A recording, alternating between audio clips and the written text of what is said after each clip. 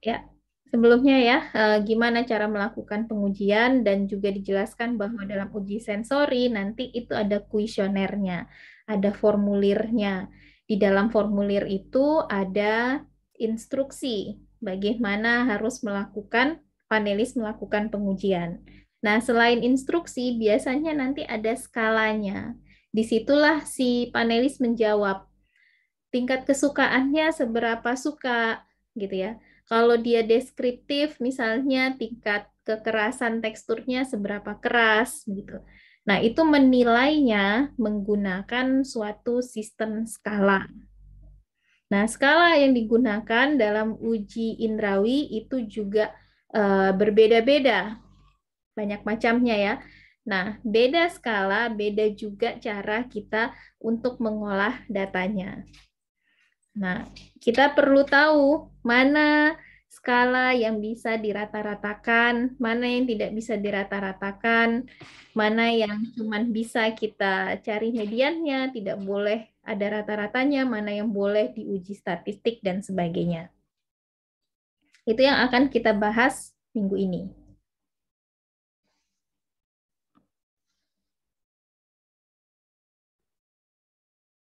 Apa itu skala? Ada yang tahu skala?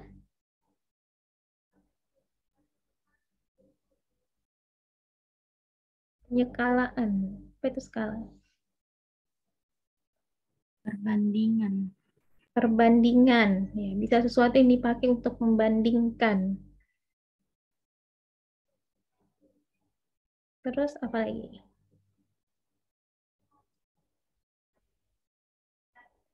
Jadi skala itu adalah uh, sesuatu yang kita uh, gunakan untuk menentukan dalam hal ini di di sensor ya, untuk menentukan intensitas atau kekuatan dari suatu stimulus. Ya, untuk menentukan intensitas atau kekuatan dari suatu stimulus. Stimulusnya apa? Bisa saja rasa gitu ya, rasanya bagaimana intensitasnya, tingkat rasa manisnya, apakah tinggi, rendah, eh, sedang gitu ya. Atau stimulus dari tekstur misalnya. Tadi ya keras, eh, rapuh dan sebagainya. Nah, skala ini digunakan untuk menunjukkan derajat perbedaan dari produk-produk kita. Tadi Siti Aziza sudah sebutkan bahwa uh, skala itu dia perbandingan. Nah, jadi dia membandingkan antar produk gitu ya. Kita gunakan dia untuk membandingkan. Sulit kalau kita hanya menggunakan kalimat saja gitu ya. Misalnya saya bilang, uh, tolong misalnya Adit ceritakan tentang biskuit ini gitu kan. Kan itu cara bahasanya beda dengan kalau misalnya saya minta Fahri misalnya untuk menceritakan biskuit gitu. Itu dia akan menggunakan kata yang berbeda, kalimat yang berbeda. Nah, itu kita mengolah datanya akan lebih sulit dibandingkan kita menggunakan skala. Sudah kita eh, apa namanya? tentukan cara menjawab pertanyaan yang kita ingin eh, si panelis itu merespon. Nah, skala ini bisa digunakan baik untuk panelis terlatih maupun panelis tidak terlatih. Nah, ini contoh saja skala yang digunakan pada uji sensori. Nanti lebih detailnya kita akan bahas eh, hari ini. Yaitu ini ada skala garis, misalnya tentang warna kuning. Nah, mulai dari sebelah kiri ini dark, atau kuningnya gelap gitu ya. Terus yang di sebelah kanan itu kuning uh, light atau terang gitu. Nah, dia nanti misalnya ada sampelnya apa yang berwarna kuning. Misalnya mie gitu ya. Mie menurut Anda warnanya itu di mana gitu. Jadi kalau dia gelap berarti dia akan ke arah sebelah kiri, kalau dia terang akan ke arah sebelah kanan. Nah, nanti dia beri tanda kira-kira di mana menurutnya tingkat warna kuning. Atau bisa juga skala itu pakai uh, ini apa? emoji gitu ya. Nah, ini terutama untuk anak-anak ketika dia belum bisa membaca. kalau dibilang sangat suka, suka, tidak suka, dia tidak bisa baca gitu ya. Tapi kalau seperti ini, ini common sense gitu. Orang bisa lihat, anak-anak tahu kalau dia senyum itu berarti dia suka. Semakin lebar senyumnya, dia semakin suka. Semakin cemberut gitu, semakin dia tidak suka misalnya. Itu contoh skala yang bisa digunakan di uji sensori. Nah, eh, yang sebelum kita betul-betul masuk contoh skala yang digunakan di uji sensori ya, kita perlu tahu tentang uh, bagaimana tipe-tipe skala gitu. Ada nominal, ordinal, interval, rasio. Masih ingat tidak? Pernah belajar ini ya? Atau SMA mungkin ya? Apa SMP? Pernah dengar tuh nominal, ordinal, ada yang masih ingat?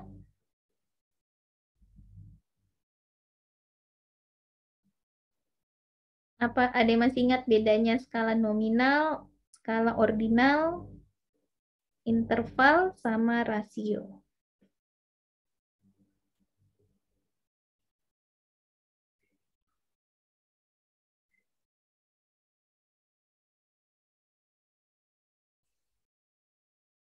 Udah lupa semua?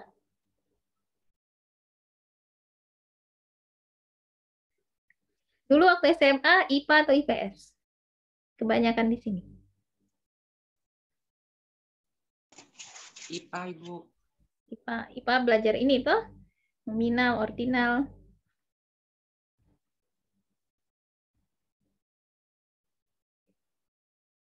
Oke, karena ya seperti eh, apa dugaan saya, kebanyakan orang sudah lupa ini ya. Nah, ini penting sekali tahu kira-kira skala yang kita gunakan tadi, seperti skala garis, terus skala pakai emoji, itu dia masuknya dalam matematika, masuknya skala mana. Nah, kita harus bisa tahu itu. Kenapa? Karena pada akhirnya data yang kita dapat ingin kita olah menjadi suatu informasi yang uh, memiliki arti gitu ya. Nah, cara mengolahnya bagaimana tergantung itu masuk tipe skala yang mana secara matematis ya. Nah, nominal, ordinal, interval, atau rasio. Kita akan bahas satu-satu. Jadi, kalau skalanya itu masuk skala nominal, itu artinya angka yang kita gunakan itu hanya sebagai label. Dia tidak berarti apa pun. Maksudnya dia bukan berarti kalau di skala nominal ya uh, dua dua itu belum tentu lebih besar daripada satu. Ini belum tentu.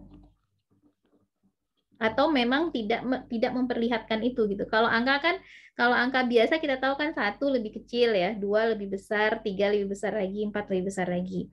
Nah kalau di skala nominal itu angka itu hanya sebagai label, dia tidak menunjukkan besarnya berapa, ya tidak menunjukkan intensitas. Contohnya apa? Misalnya eh, apa? Satu itu sebagai perempuan, dua untuk laki-laki. Apakah dua lebih besar dari satu? Tidak. Dia hanya label saja untuk memudahkan kita. Ya. Nominal itu angka hanya sebagai label. Nah, kalau seperti ini, kalau data kita angkanya hanya sebagai label, itu uh, tidak bisa dirata-ratakan dan tidak bisa kita tentukan mediannya. Sebentar, sebelum saya panjang lebar ya, Rata-rata paham semua. Apa itu rata-rata?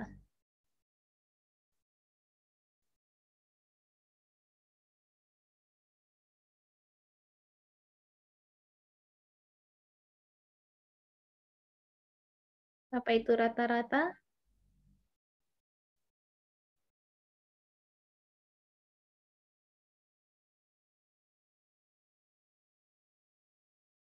Kayaknya Fahri mau jawab ya. Saya lihat kayak videonya tapi tidak ada suaranya.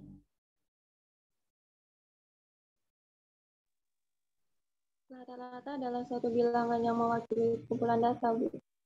adalah suatu bilangan yang mewakili sekumpulan data seperti uh, dari banyaknya data itu diwakilkan oleh satu uh, data begitu. Oke, itu pengertian pengertian teoritisnya ya. Kalau bahasa kita saja, atau misalnya kalau saya punya data begini, ada dua, dua, dua, eh, berapa? Empat, empat, empat. Berapa rata-ratanya? Gimana cara cari rata-ratanya?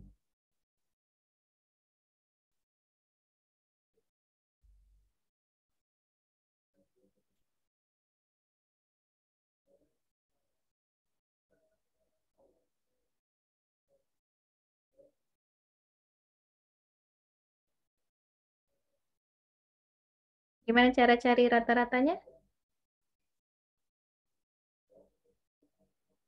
2,5 Ibu. Iya, caranya gimana? Uh, jumlah jumlahkan semua terus dibagi tujuh. Bagi banyaknya nilai.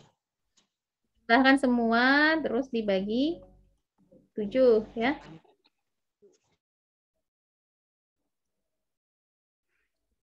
Itu hasil dari pembagian jumlah seluruh data dibagi banyaknya data ya. Data. Ada berapa? Ada tujuh. Terus berapa jumlah datanya? Itu rata-rata. Kalau median? Nilai nilai tengah. Nilai tengah. Dalam hal ini berapa nilai tengahnya kalau data kita ada yang di atas tadi? dua dua dua empat empat empat empat empat empat 4 ya. Di tengah-tengahnya adalah 4. Itu median. Oke. Jadi semua paham ya, mana median, mana yang rata-rata. Nah, kalau skala kita itu adalah skala nominal, angka hanya kita gunakan sebagai label, maka kita tidak boleh merata-ratakannya tidak boleh mencari mediannya. Ya. Biasanya yang dilaporkan itu hanya sebagai frekuensi. Berapa banyak sih yang satu, berapa banyak yang dua gitu. Ya. Dan analisisnya itu statisnya statistikal analisisnya adalah non parametrik. Jadi tidak ada itu uji beda nanti ya uh, pakai ANOVA. Kalian sudah dapat statistik belum?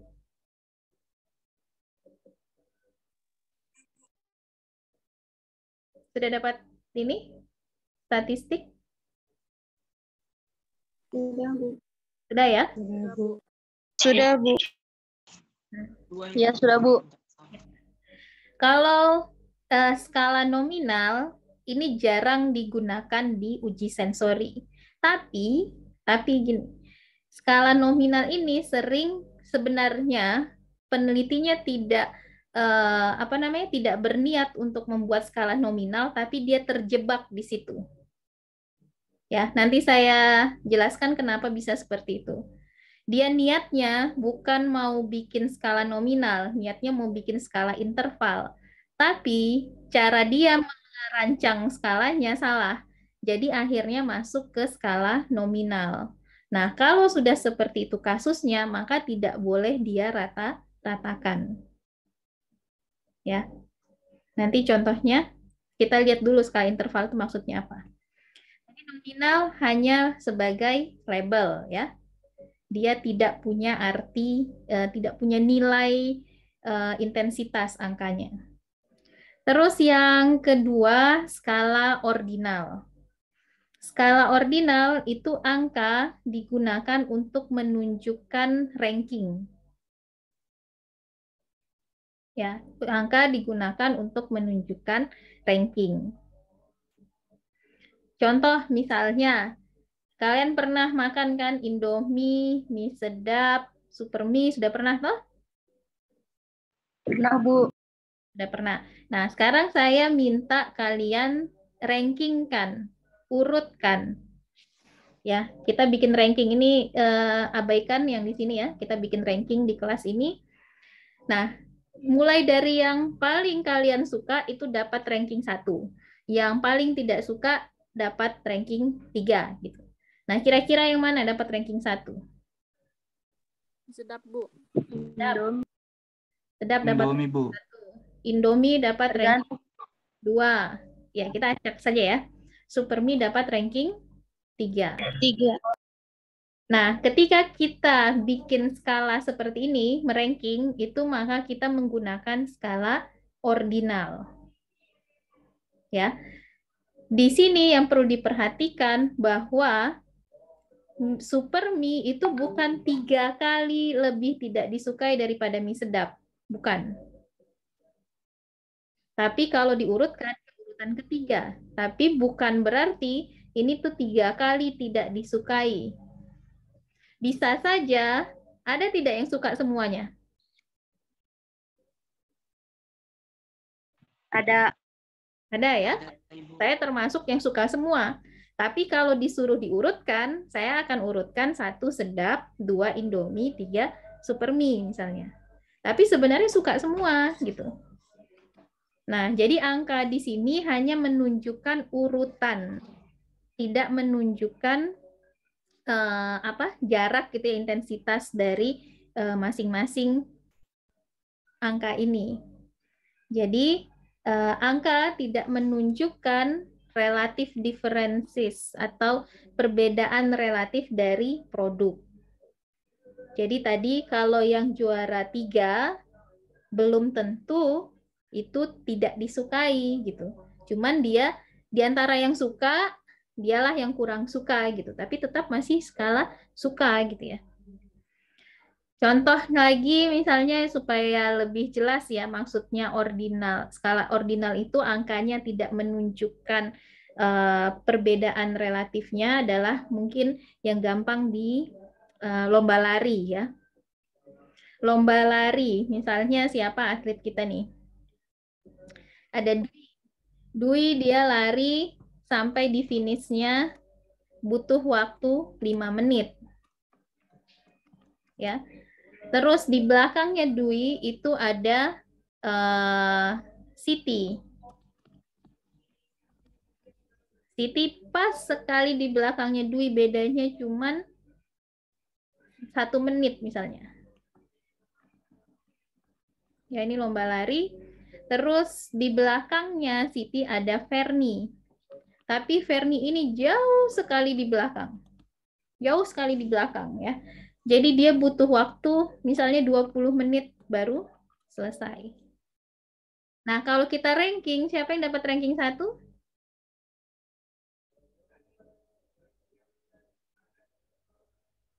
Siapa dapat ranking satu di lomba lari ini? Dwi. Dwi ya. Dwi ranking 1, Siti ranking 2, Ferni ranking 3. Nah, kalau kita lihat antara satu ke dua ini kan bedanya cuma satu ya rankingnya, cuma beda satu. Cuman perbedaan waktunya ini hanya satu menit.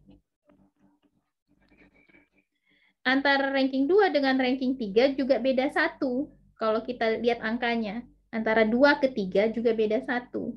Tapi bedanya antara Siti sama Verni ini bisa sampai 14 menit. Nah, ini yang dimaksud bahwa ranking, angka di ranking itu tidak bisa memperlihatkan seberapa besar perbedaannya. Ya, dia hanya memperlihatkan urutan, tidak memperlihatkan seberapa besar perbedaannya. Paham tidak? Atau bingung? Paham, Bu. Paham ya? Kalau bingung, bilang. Nah, eh, untuk skala ordinal, itu karena tadi angkanya itu tidak menunjukkan eh, perbedaan relatifnya, dia tidak bisa juga dirata-ratakan. Ya, jadi nanti kalau kalian menyuruh panelis untuk mengurutkan tingkat kesukaan, itu artinya pakai ranking, tidak boleh dirata-ratakan Rata-rata dia dapat ranking 1,5, tidak bisa gitu. Jadi yang bisa dilakukan adalah menganalisis mediannya. Ya, median tidak boleh rata-ratanya.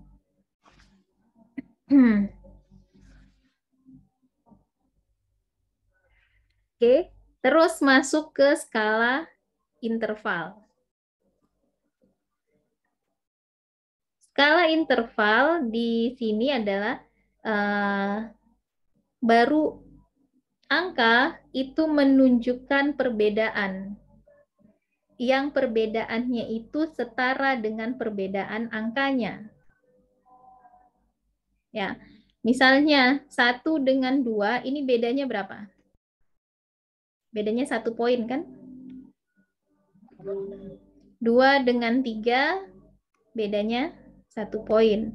Tiga dengan empat bedanya satu poin. Tapi satu dengan empat bedanya berapa? Bedanya tiga kan? Nah kalau interval itu dia memang ada perbedaan angka itu menunjukkan perbedaan gitu. Perbedaan intensitas. Nah, di sini kita bisa ini contoh langsung ya ke ke apa namanya? uji sensori. Kalau ada yang pernah jadi panelis, itu biasanya kakak kelas kalian sering sekali pakai lima uh, skala interval. Kalau di sini contohnya 9. Kalau pakai bahasa Indonesia, lima skala itu yang nomor limanya sangat suka, empatnya suka, tiganya agak suka, dua tidak suka, terus satunya sangat tidak suka. Nah, ini perbedaannya antar ini tuh sama turun satu gitu ya, turun satu. Yang secara logika itu dianggap sama. Kayak sangat suka terus turun menjadi dari suka turun agak suka. Agak suka turun tidak suka, terus turun lagi sangat tidak suka. Nah, jadi perbedaan antara 4 dengan 5 itu sama dengan perbedaan 4 dengan 3. Paham tidak? Paham, Bu. Paham ya? Nah, di sini yang dimaksud dengan skala interval. Ini yang paling sering digunakan, bisa dibilang paling sering digunakan di uji sensori. Kita menggunakan skala interval. Nah, tadi yang di awal ya, skala apa yang hanya sebagai label? Number skala nominal scaling. Nominal, skala nominal skala nominal itu jarang digunakan di eh, apa?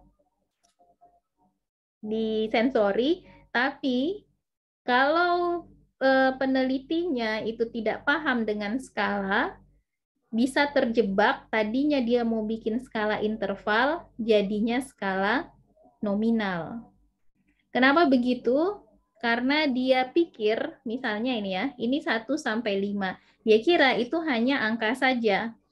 Terus dia menempatkan angka ini suka-suka gitu. Misalnya 5 dia bikin sangat suka. Terus 4 dia bikin sangat tidak suka. Terus 3 suka. 2 tidak suka terus satu jadinya uh, apa agak suka ya himrung ya. Nah, ini tidak jadi skala interval lagi. Kenapa? Karena perbedaannya sudah tidak setara. 5 ke 4 itu bedanya satu poin, tapi dia turun dari sangat suka menjadi sangat tidak suka. Terus 4 ke 3 itu tidak satu, setara lagi dengan 5 ke 4. Dari sangat tidak suka naik ke suka. ya. Nah, kalau seperti ini kasusnya, ini bukan skala interval lagi. Ini adalah skala nominal. Angka di sini hanya sebagai label. Nah, kalau seandainya ini yang di, diberikan kepada panelis, maka dia tidak bisa mencari rata-ratanya. Jadi skala interval itu bisa kita rata-ratakan. Kalau skala nominal tidak bisa.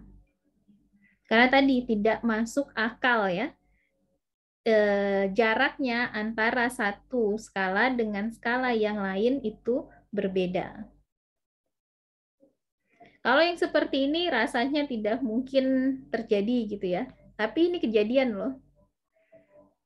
Ini betul-betul kejadian, ada yang bikin gitu ya. Dia hanya mengelompokkan, pokoknya yang sangat sangat sangat sangat dia kelompokkan, yang suka tidak suka dia kelompokkan.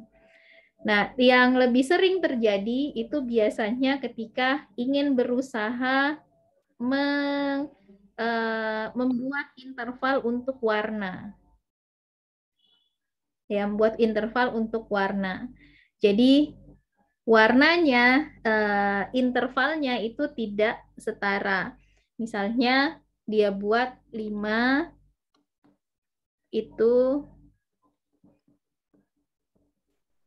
coklat terus 4 dia tulis uh, coklat gelap misalnya terus tiga jadi uh, jauh misalnya. Terus dua hijau gelap.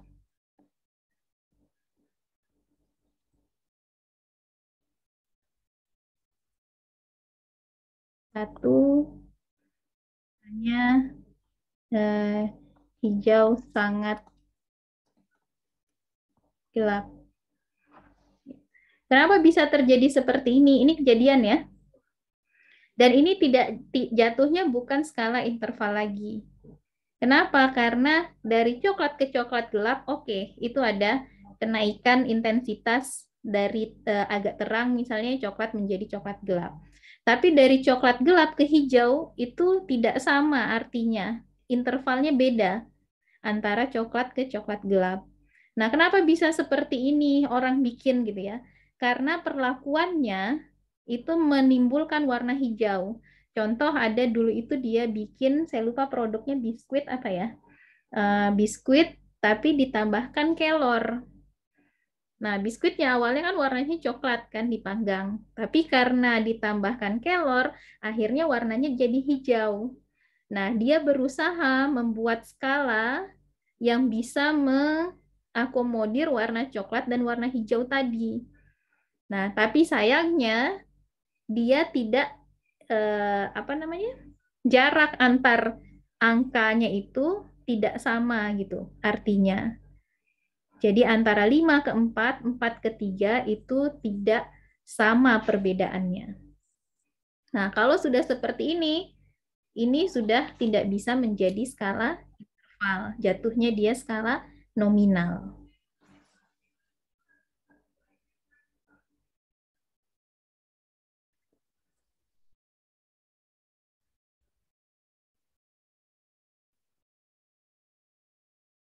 Skala interval itu bisa juga tidak harus diberikan keterangan di setiap uh, angkanya ya. Seperti ini 1 sampai 9 ada uh, keterangannya. Misalnya satu dislike extremely, dua dislike very much dan seterusnya. Bisa juga skala interval itu dalam bentuk skala garis. Jadi seperti ini hanya disebutkan di uh, paling kecilnya berapa apa, maksudnya paling besarnya apa dan di tengah-tengahnya apa gitu. Nah, untuk skala interval itu bisa dianalisis dengan uh, analisis statistik parametrik. Parametrik maksudnya gimana? Yang kalau kita bisa menentukan rata-rata, kita bisa uji T, bisa melihat regresinya, bisa tes ANOVA, dan sebagainya. Apa fungsinya ini uji t sama ANOVA? Sudah diajarkan?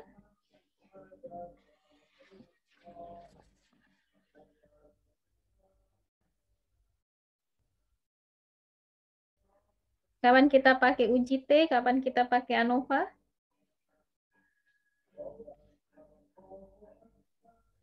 Diajarkan, Bu. Belum? Belum, Bu. Oh, oke. Saya kira belum ya. Saya kira sudah diajarkan waktu statistik. Oke, eh, mungkin detailnya akan dibahas pada saat nanti mengolah data dari hasil eh, pengujian ya. Nanti kan kita masuk ke misalnya pengujian kesukaan ya, akan melakukan pengolah datanya menggunakan ANOVA.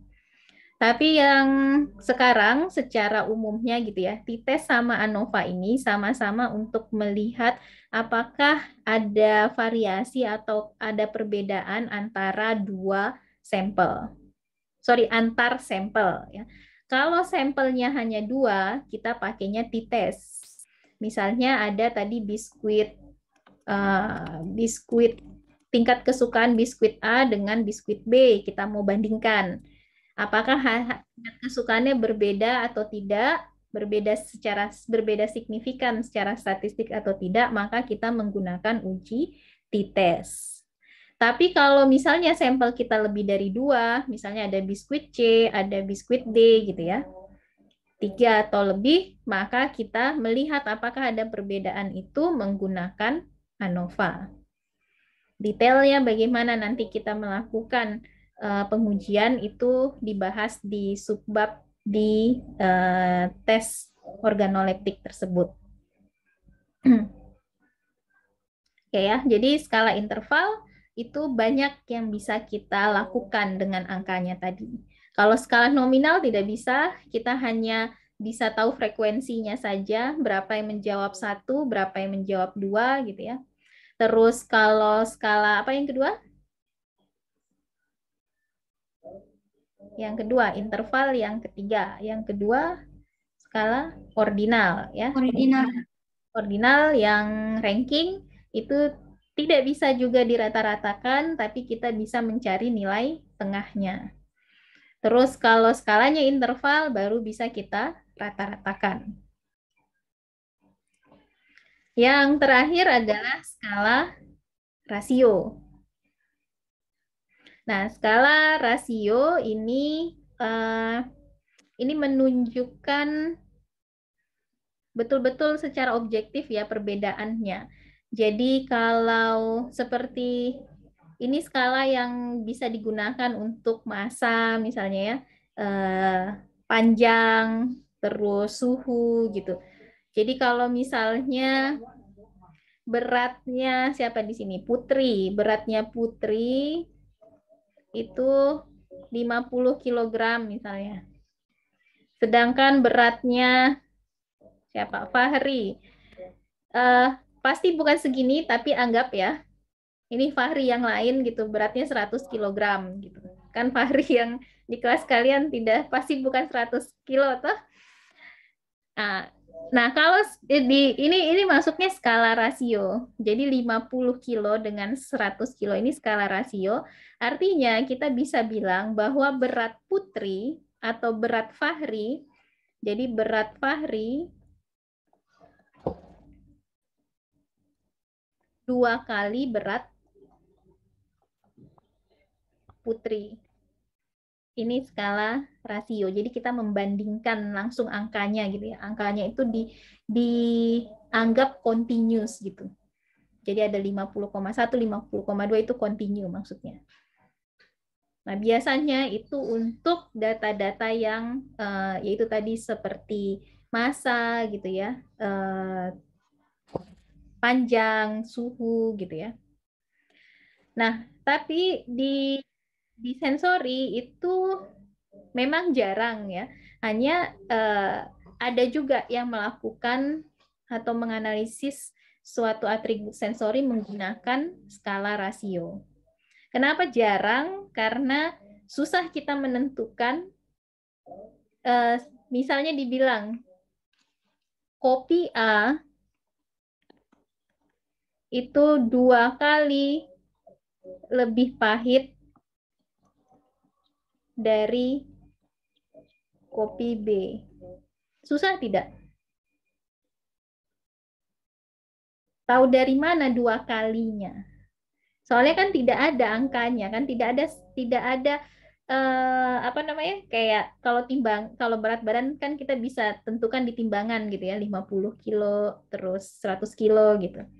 Tapi kalau pahit gimana taunya bahwa itu dua kalinya atau tiga kalinya atau enam kalinya gimana? Apa apa yang bisa kita kalikan kan tidak tidak ada ya itu lebih ke uh, ada di pikiran kita gitu.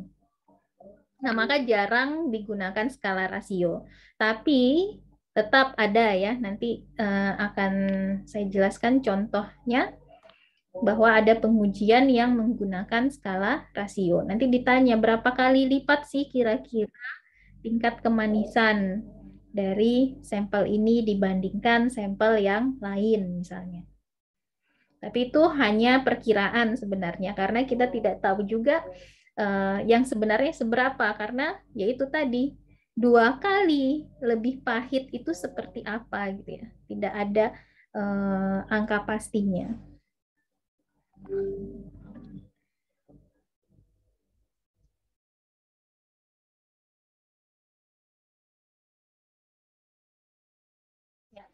Seperti halnya skala interval tadi di skala rasio kita juga bisa gunakan uh, analisis statistik parametrik. Artinya bisa dirata-ratakan, bisa kita cari uji bedanya dan sebagainya. Oke, sampai di sini ada pertanyaan?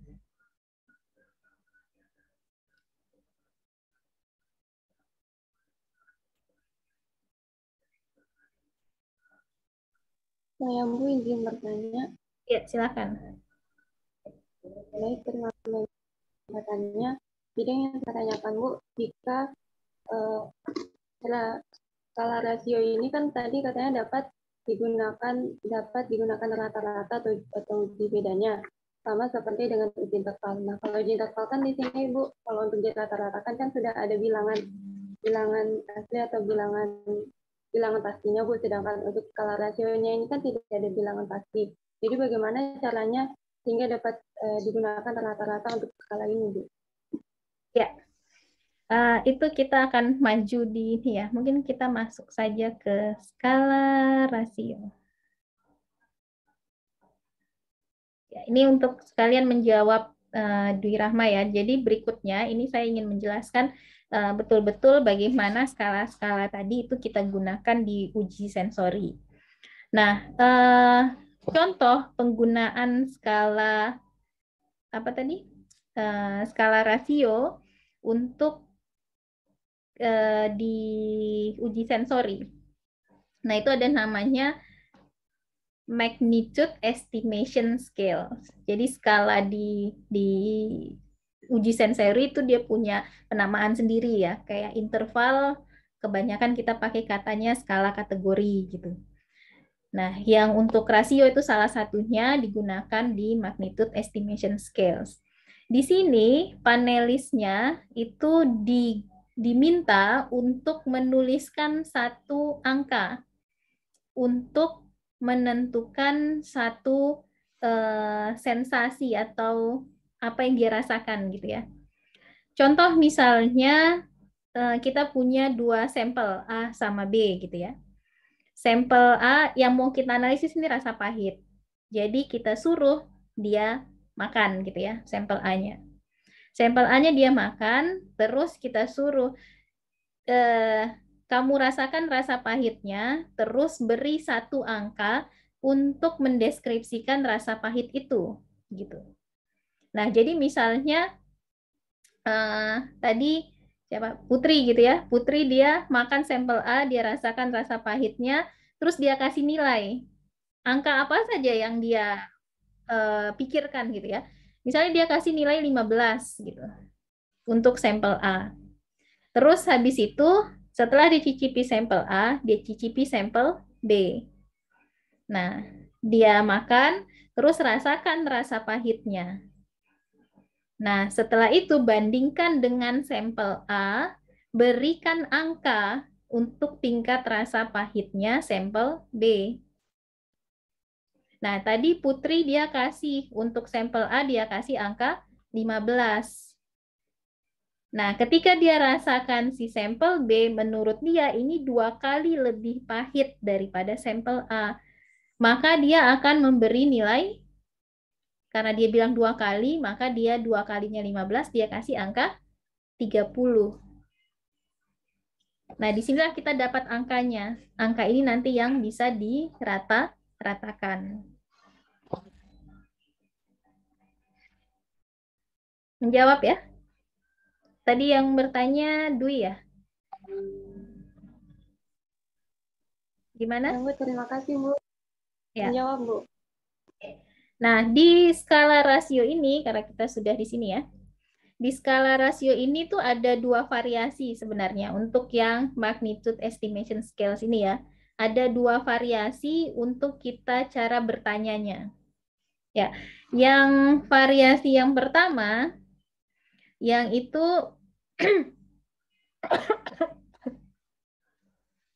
sorry. Jadi uh, yang pertama kita berikan dulu standarnya, ya standar sebagai reference.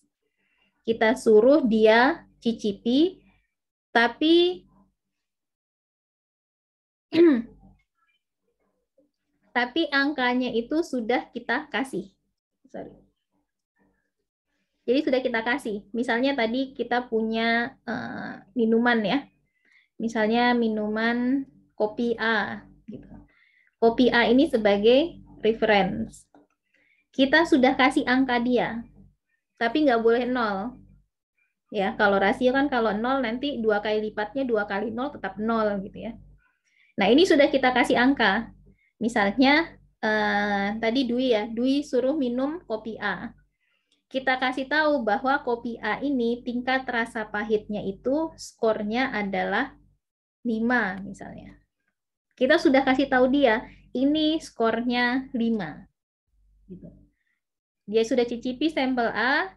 Nah, setelah itu dia cicipi lagi sampel B, kopi B. Terus kita suruh dia bandingkan dengan sampel A. Nanti dia yang kasih angka. Kalau menurut dia dua kali lebih pahit berarti jadi angkanya 10 misal ya. Terus dia misalnya cicipi lagi sampel C. Menurut dia eh, kalau dibandingkan sampel A ini tidak terlalu pahit gitu. Lebih manis dikit gitu ya. Nah, mungkin dua kali tidak pahit gitu. Dia kasih jadinya 2,5 5 misalnya. Itu yang pertama. Ya. Yang kedua, tidak ada kita kasih angka untuk referensinya gitu. Tidak kita kasih uh, angka di awalnya ya sebagai standarnya. Jadi itu bebas si panelisnya untuk cicipi terus kasih angka sampel yang pertama. Nah, terus sampel yang kedua dia cicipi, dia ikuti angka yang pertama dia kasih. Um, loh, tidak ada sampelnya. Ya, contoh tadi ya. Ini ada si Putri, di sini ada Dwi. Sama-sama mereka mencicipi sampel A dulu misalnya yang pertama ya. Sampel A yang pertama, Nah, Putri ini kasih angka karena tadi kan tidak dikasih ditetapkan ya, beda sama yang variasi pertama. Kalau yang pertama sudah ditetapkan. Kalau yang kedua ini tidak ditetapkan, Putri kasih angka terserah gitu. Karena angka kesukaannya 10, dia kasih ini 10. Terus Dwi eh, yang kepikiran pertama adalah angka 8. Tidak masalah. Terus setelah itu dia akan cicipi sampel yang kedua ya sampel B misalnya. Dwi juga mencicipi sampel B. Nah, setelah itu kalau Putri merasa bahwa B tadi kan lebih pahit ya, dua kali lebih pahit, maka nanti Putri akan menjawab di sini 20. Sedangkan Dwi dia jawabnya 16. Karena dua kali 10 adalah 20, dua kali 8 adalah 16. Gitu. Sama sama-sama pengertiannya bahwa Putri dan Dwi sama-sama menjawab bahwa B itu dua kali lebih pahit daripada A. Tapi angka yang dia berikan berbeda. Nah, kalau variasi yang pertama ini lebih memudahkan si peneliti. Pada saat dia mengolah data, dia setidaknya dia punya satu ini nih sama semua kan. Startnya dari lima. Ini lebih mudah kita mengolah datanya.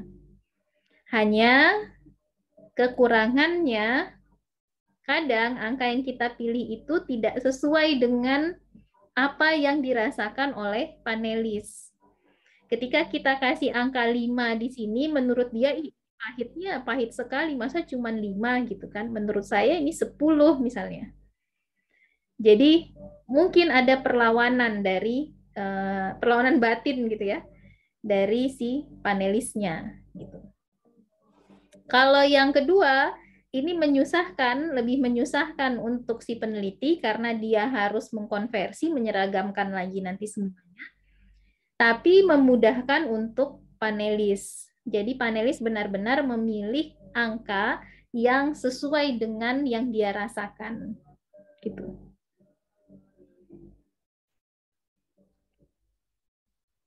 Oke, ada pertanyaan lagi?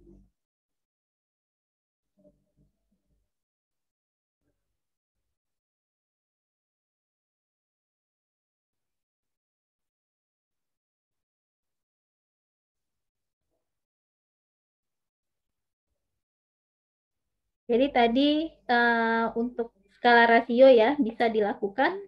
Contohnya tadi ya pengujiannya tingkat rasa pahit misalnya. Uh, walaupun tidak terlalu sering. Yang paling sering itu pakai ini. Skala kategori. Nah, skala kategori itu istilah yang dipakai di sensori, tapi kalau di matematikanya itu dia masuk skala interval. Ini merupakan metode tertua ya, bisa dibilang tertua. Dan dia merupakan uh, skala interval ya. Uh, seperti yang sudah dijelaskan, skala interval itu bisa kita rata-ratakan. Nah, uh, yang paling penting adalah jarak antar skala itu masuk akal dan sama ya. Tadi seperti sangat suka, terus jadi suka, agak suka, itu secara bahasa kita menganggap jaraknya sama, gitu ya. Turun dari sangat suka ke suka, dengan suka ke agak suka, itu jaraknya sama secara bahasa gitu. Walaupun kita tidak siapa yang bilang gitu ya, tidak ada ukurannya gitu, tapi secara logikanya seperti itu. Nah, skala kategori ini bisa kita buat dalam berbagai bentuk gitu ya. Tidak harus skala kategori dia uh, harus ada penjelasannya terus seperti tadi ya. 5 sangat suka, 4 suka, 3 agak suka dan sebagainya. Bisa juga skala kategori itu kita menggunakan uh, seperti emoticon ini gitu ya yang yang sangat suka dia senyum gitu ya. Setelah itu biasa saja ya tidak cemberut, tidak senyum gitu ya. Kalau sangat tidak suka sampai nangis misalnya gitu ya. Jadi tapi kelihatan gitu secara logika jaraknya sama intervalnya. Terus atau bisa juga dengan menggunakan hmm, apa? angka gitu ya. 1 sampai 9 yang diberi keterangan itu hanya yang paling kecil dan yang paling besarnya saja tidak diberi keterangan di antaranya. Itu bisa juga masuk skala kategori. Atau tidak pakai angka, terus juga tidak semuanya diberikan keterangan, hanya diberi kotak-kotak begini ya. Ini juga skala kategori. Tapi yang paling bawahnya itu kita kasih keterangan, yang atasnya juga kita kasih keterangan. Nah, ini intervalnya harus sama. Gitu jaraknya. Jadi jangan memberikan mentang-mentang kotak gitu ya, tapi tulisnya asal-asalan gitu. Terus kotaknya adalah satu lagi di sini, terus ada di sini gitu. Itu akan memberikan kesan yang berbeda jaraknya. Jadi jaraknya dia disamakan. Nah, ini hanya diberikan ke panelis memang tidak ada angkanya, tapi nanti ketika kita olah, ini sebenarnya kita terjemahkan menjadi angka.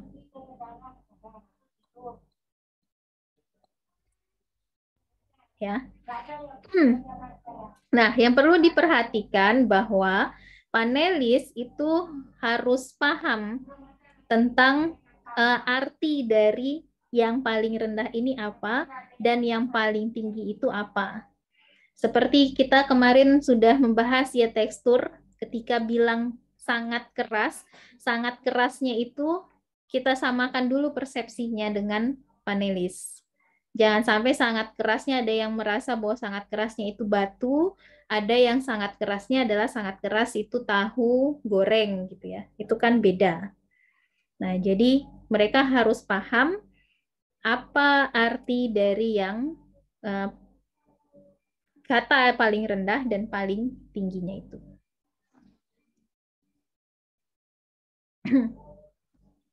Nah, keuntungan dari skala kategori ini itu sangat mudah digunakan, ya.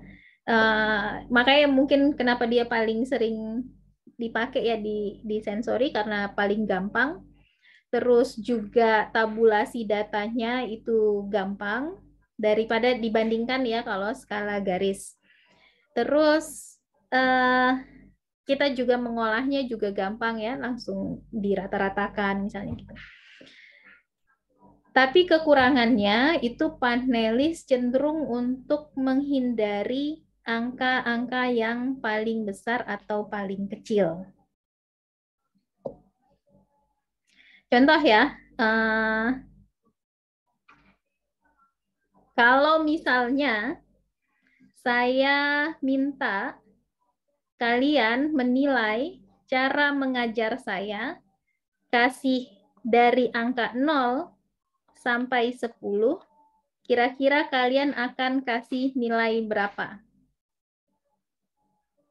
Ini tidak akan mempengaruhi nilai. Ya. Sebut saja satu angka, berapa?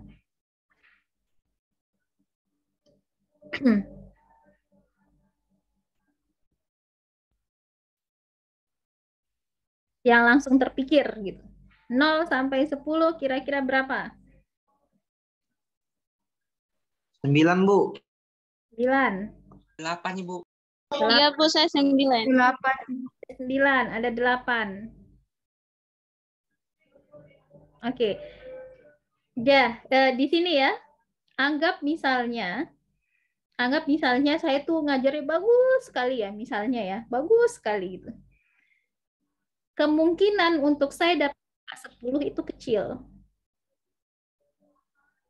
Kenapa?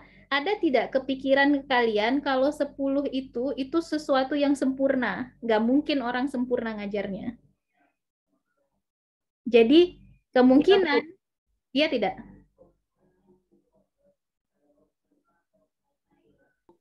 Ya? Ya. Nah, karena kita punya pemikiran seperti itu, 10 itu sangat sempurna dan tidak mungkin orang itu sempurna. Sehingga kita tidak kasih dia angka 10 gitu. Atau kalaupun ngajar saya sangat-sangat-sangat jelek, kemungkinan kalian juga tidak akan kasih saya 0 ya anggap misalnya saya ngajarnya jelek gitu ya.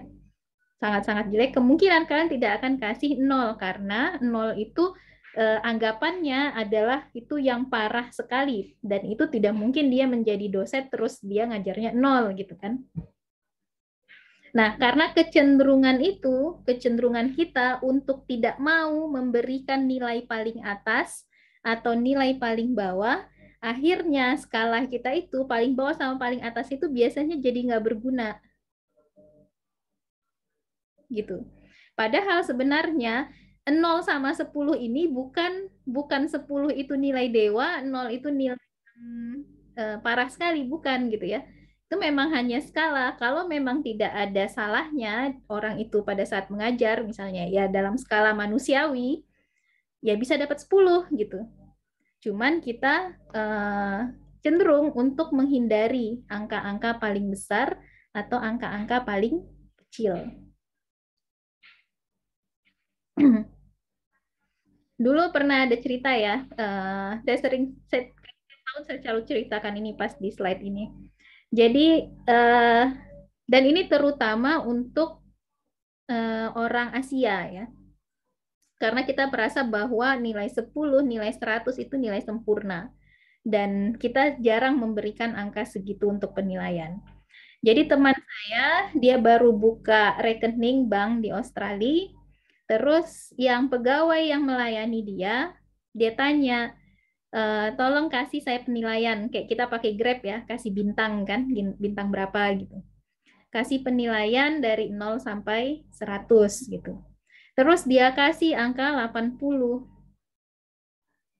Maksudnya dia 80 itu karena sudah bagus. Dia sudah merasa puas dengan pelayanannya, dia kasihlah nilai si pegawai itu 80. Pegawai itu tanya, "What's wrong?" katanya. "Apa kesalahan saya?" katanya. Dia tanya gitu, "Apa kesalahan saya sehingga saya dapat 80?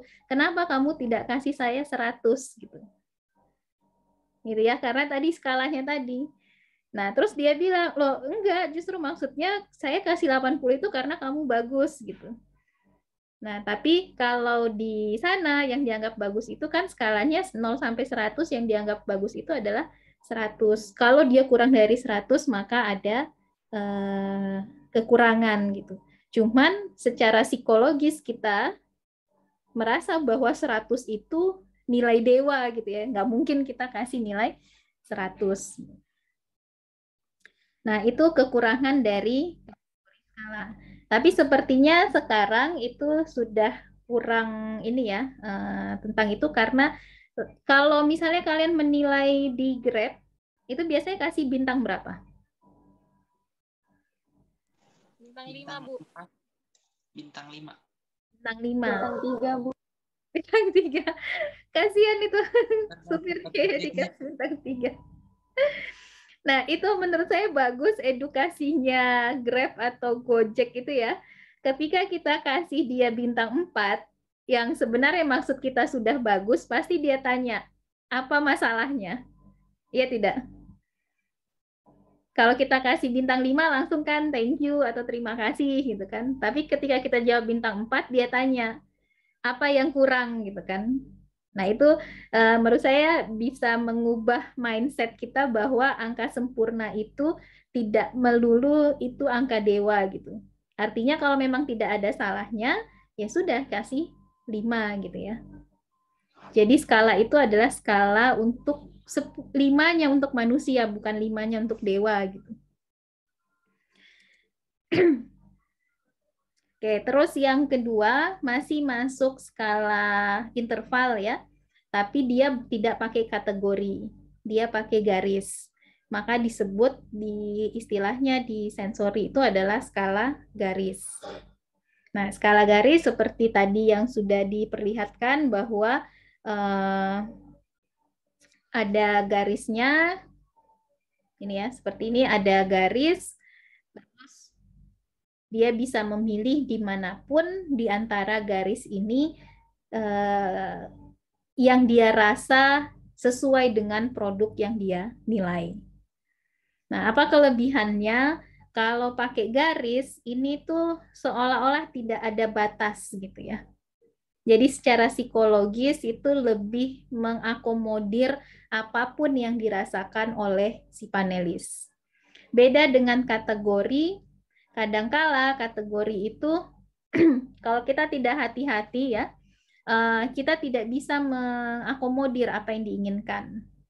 Misalnya antara very good sama good. Menurut dia tuh dia tidak very good tapi di atasnya good gitu. Dia mau jawab apa? Dia maunya tuh di antara ini gitu. Di antara ini misalnya. Ya, dia tidak punya pilihan gitu.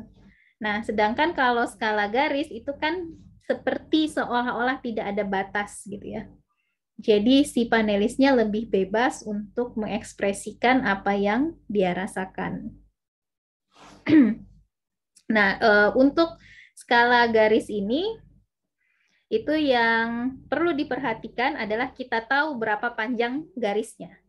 Jangan asal bikin garis saja Jadi tahu biasanya misalnya 10 atau 15 cm gitu ya. Terus kita beri label yang paling kecil itu maksudnya apa, yang paling besar maksudnya apa. Nah, sekali lagi kalau sudah ada label begitu, si panelis harus paham apa yang dimaksud dengan labelnya. Kalau dibilang smooth, eh, halus gitu ya, yang halus itu seperti apa? Rough, rough itu kasar, kasarnya kasar kayak apa gitu ya. Nah, uh, terus nanti panelis akan memberikan penilaiannya. Nah, kalau misalnya dia nilai di sini gitu ya, dia kasih garis begitu. Nah, nanti yang dilakukan oleh penelitinya adalah mengukur berapa jaraknya dari titik nol ke sini. Misalnya 2 cm. Ini untuk sampel A. Jadi sampel A menurut panelis uh, satu itu 2 cm, nanti menurut panelis 2 mungkin 3 cm, menurut panelis 4 itu tiga setengah cm gitu ya. Nanti dirata-ratakan semuanya. Nah, semakin dia uh, kalau angkanya semakin besar semakin mendekati ke kasar. Angkanya semakin kecil, maka semakin mendekati ke halus. Tapi tidak ada kategorinya.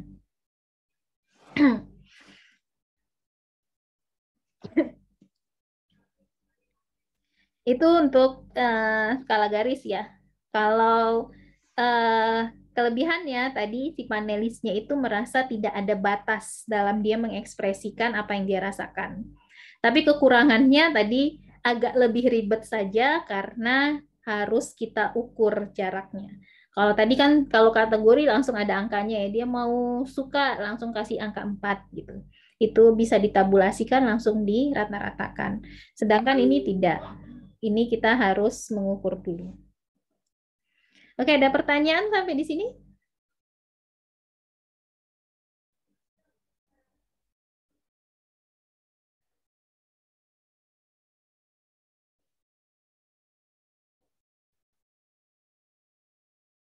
Ya, perlu diperhatikan untuk skala interval tadi mau pakai kategori.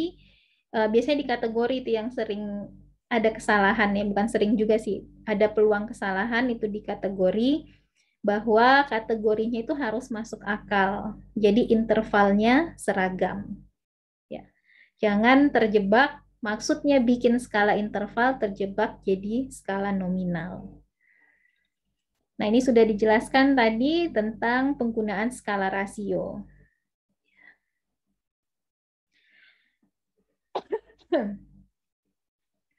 Nah, yang kayaknya yang terakhir ini. Ya, yang terakhir di skala sensori itu kita juga menggunakan perankingan. Kadang-kadang pertanyaannya itu minta di ranking. Ranking tadi ya pakai skala ordinal. Tidak boleh dirata-ratakan. Kita cuman boleh menentukan nilai mediannya. Nah, di sini uh, ranking itu kelebihannya mudah untuk dipahami oleh panelis ya, tidak ribet. Semua orang tahu kayaknya kalau disuruh ranking itu eh, pasti yang baik gitu ya di, diurutkan gitu dari yang paling baik sampai yang paling tidak baik misalnya dari paling pahit sampai tidak pahit dan sebagainya. Terus juga mudah untuk di handle datanya, di, sudah ada angkanya, tidak seperti skala garis harus diukur manual atau eh, pakai bisa juga sih tidak manual ya kalau kita pakai eh, apa aplikasi. Jadi bukan pakai kertas terus orang suruh tapi sudah eh, digital. Cuman kekurangannya tadi kita tidak bisa mengetahui perbedaannya, tingkat perbedaannya. Antara ranking 1 dengan ranking 2, terus ranking 2 dengan ranking 3 itu kita tidak tahu perbedaannya. Kayak tadi Indomie, Supermi tadi ya. Nah, juara satunya sedap, tadi juara duanya Indomie, terus juara tiganya Supermi. Nah, kita tidak tahu perbedaannya seberapa besar sih perbedaan antara juara satu sama juara dua ini gitu. bisa saja sebenarnya sama-sama suka semuanya gitu. Jadi ini beda-beda tipis antara sedap, Indomie, super mie. Bisa saja begitu. Atau bisa saja mie sedap sama Indomie beda tipis, sama-sama disuka, super mie ini dia benci gitu. Betul-betul tidak suka. Lihatnya saja langsung mual misal, ya begitu. Nah, jadi eh, ranking itu informasi yang kita dapat lebih terbatas gitu. Kita hanya tahu urutannya saja tapi tidak tahu seberapa besar perbedaannya.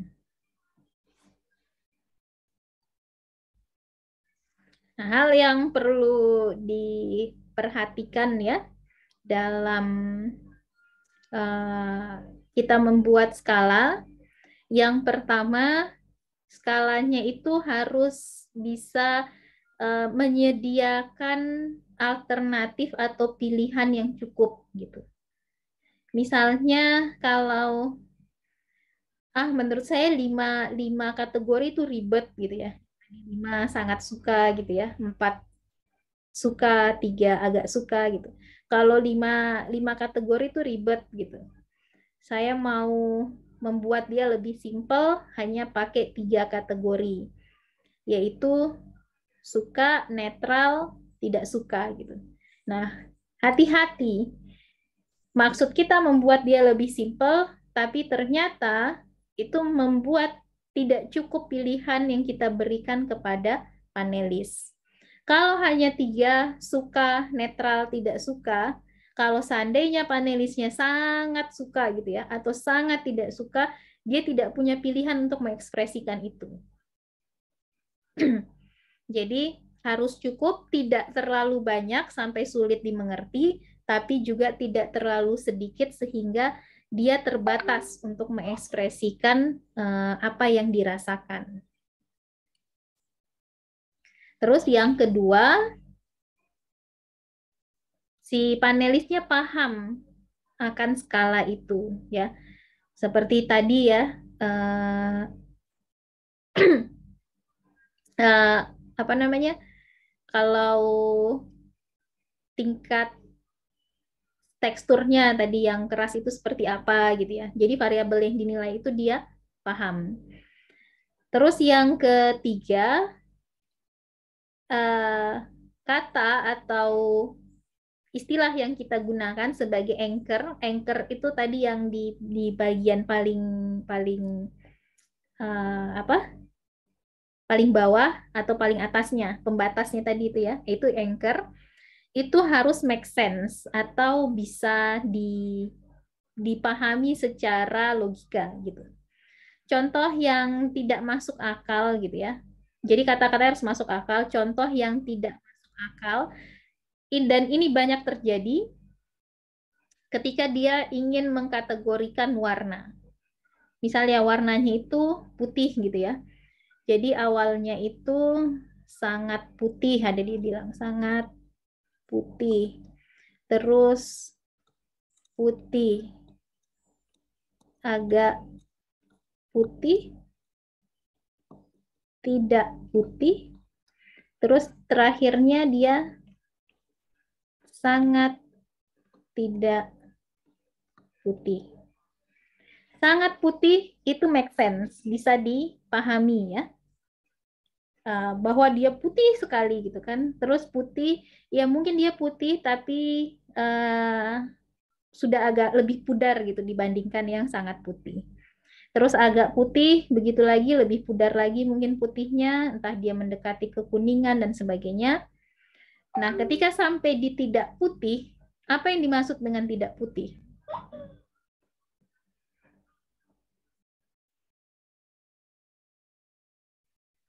Ketika kita berbicara warna, apa itu tidak putih? Yang tidak berwarna putih. Abu-abu, Bu. Abu-abu. Bening. Bening. Bening. Biru, biru masuk tidak putih tidak? Biru tidak, Kim. Masuk, Bu. Pokoknya semua yang warnanya bukan putih masuknya tidak putih. Huh? Iya, Ibu. Bisa kuning, bisa hijau, bisa biru. Jadi kalau agak putih masih ada putihnya, tidak putih betul-betul tidak ada putihnya. Nah, Terus kita masuk ke berikutnya adalah sangat tidak putih. Apalagi yang sudah tidak putih, dia sangat tidak putih. Ada tidak? Hitam, Bu. Hitam, Bu. Hitam ya tidak putih kan? Hitam itu tidak putih. Bu. Kalau sudah tidak putih ya tidak ada lagi sangat tidak putih. Karena ini masalah warna gitu, beda sama kesukaan ya. Kesukaan bisa kita tidak suka sesuatu dan sangat tidak suka sesuatu itu mungkin. Ya, masuk akal. Tapi kalau sudah tidak putih, tidak ada lagi yang sangat tidak putih gitu. Karena tidak putih itu artinya apa pun warna yang selain putih. Paham ya? Nah, ini sering terjebak karena suka pakai uh, skalanya begini, polanya sangat, terus apa sifatnya terus agak, tidak, sangat tidak gitu. Jadi dia bikin saja. Padahal coba dipikirkan lagi, apa betul ada setelah tidak putih, apakah ada sangat tidak putih? Terus juga hati-hati dengan kata bau khas. Ini kalau sering digunakan mendeskripsikan aroma. Misalnya dia punya uh, apa? Dia mau bikin mie dari tepung kabuto misalnya. Ya. Terus dia mau nilai aromanya, apakah aroma kabuto ini mempengaruhi tidak produk mie-nya nanti. Terus dia tulis bau khas kabuto misalnya. Ya, bau khas kabuto misalnya. Nah, ini bisa saja jadi tidak masuk akal bagi panelis yang tidak pernah tahu dengan kabuto. Ya kan? Orang orang Sumatera misalnya, ada teman kalian tidak yang dari Medan atau dari mana gitu ya, yang bukan orang Sulawesi Tenggara? Ditanya, bau khas kabuto. Ya dia nggak tahu gimana dia mau menilai kalau dia tidak tahu bau khasnya itu. Jadi kalau sampel kalian itu khusus, agak aneh gitu ya, tidak tidak umum, hati-hati jangan pakai bau khas. Carilah bau yang mendekati bau dari sampel itu yang bisa mewakili sampel tersebut, gitu ya. Sama kayak kalau saya bilang di sini, kalian tahu dadih tidak dadih? Tidak tahu kan? Tidak, Ibu. Nah, itu di kampung saya di Sumatera Barat. Itu uh, ada namanya uh, susu kerbau yang difermentasi jadi kayak keju gitu ya, namanya dadi. Nah, kalau saya pakai itu terus penelitian di Kendari, terus panelisnya saya bilang bau khas dadi, itu nggak masuk akal sama mereka karena mereka dadi saja tidak tahu, apalagi bau dadi itu seperti apa, ya. Jadi hati-hati. Ah, ternyata slide terakhir. Ya, itu tadi untuk skala ya. Dan sudah kalian sebenarnya sudah, seharusnya sudah mendapatkan modal yang cukup untuk kita masuk insya Allah minggu depan ke uh, apa namanya pengujian contoh-contoh ke pengujian sensorinya. Ya mungkin nanti kita ada uji beda, ada uji deskriptif, ada uji kesukaan. Nah masing-masing itu juga punya jenis-jenisnya sendiri. Nanti kita akan bahas. Oke, ada pertanyaan sampai di sini?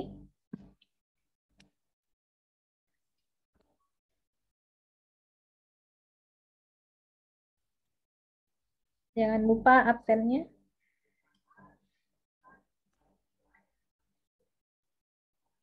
Jadi kalian sudah tahu skalanya, kalian tahu bagaimana menyajikan, bentuknya harus diperhatikan, ruangan tempat pengujian diperhatikan, pencahayaan, dan sebagainya. Terus sifat-sifat yang akan diujikan seperti rasa, aroma, tekstur, ya, warna. Itu kalian sudah tahu. nah, insya Allah kita akan uh, masuk ke bagaimana melakukan pengujian-pengujian sensori.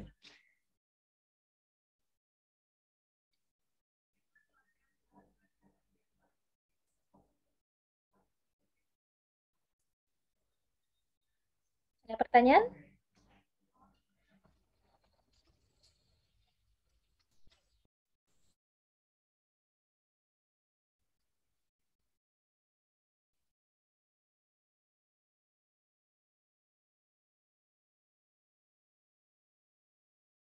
Oke, kalau tidak ada, sebenarnya kita masih ada waktu sih ini. Sampai jam berapa ya? 5.40 ya? Masih ada 10 menit lagi. Oke, kalau tidak ada pertanyaan, kita sudahi um, kuliah hari ini, insya Allah. Oh ya, minggu depan kayak kita harus cari waktu lagi juga. Karena saya sedang di perjalanan, jadi kemungkinan tidak bisa online. Um, kita akan cari ya, mungkin apakah hari Jumat minggu depannya atau bagaimana. Uh, terima kasih atas perhatiannya. Selamat berbuka puasa sebentar lagi ya. Tapi jangan buka sekarang. Untungnya hari ini kita tidak terlalu banyak bercerita makanan ya. Kita berbicara skala. Oke, selamat uh, berbuka. Semoga ibadah puasanya diterima oleh Allah Subhanahu wa taala. Mohon maaf jika ada salah. Assalamualaikum warahmatullahi wabarakatuh. Waalaikumsalam warahmatullahi wabarakatuh. Terima kasih Bu. Sama.